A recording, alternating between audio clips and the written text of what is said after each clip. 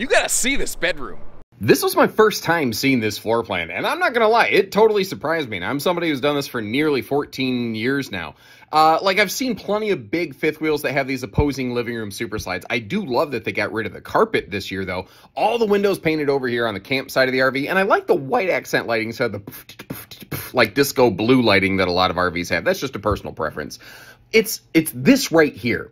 The kitchen area has that mega pantry right there that is actually set for a either a combo or stackable washer dryer. And what's so cool about that is this has a north-south bed that's easier to walk around versus a lot of beds in slides. It's got those nice side stands there in case you need to have a CPAP or a phone charger or something next to you.